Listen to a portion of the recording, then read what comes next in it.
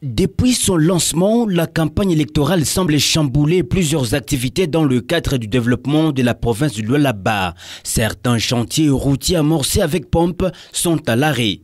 Une situation qui fait réfléchir la population. Vous trouvez qu'il y a des routes euh, qui, qui sont en pleine réhabilitation, en pleine construction, dont les travaux sont suspendus jusque-là les caniveaux qui, aussi vous le remarquez, les caniveaux qui, qui sont bouchés.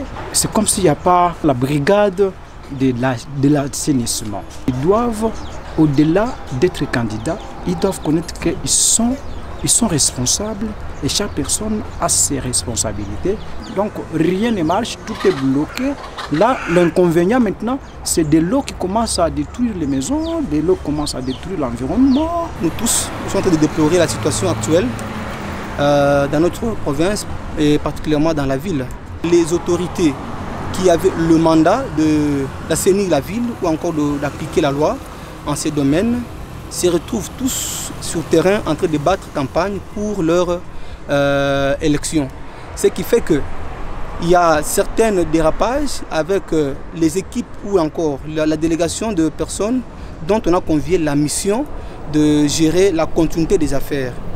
Ce principe voudrait que c'est là qui assure pendant ces moments les affaires de l'État de continuer à appliquer la loi et de satisfaire l'intérêt général de la population. Léonard Yav, acteur de la société civile, décrit cette situation et appelle les décideurs en fonction à jouer leur rôle. Nous nous rendons compte qu'il y a eu maintenant eh, le laisser aller. Ces autorités ne contrôlent même pas ces activités. Or, les contrôles, quand vous voyez par exemple, il y a deux avis qui a été lancé comme ce projet de Sédiou.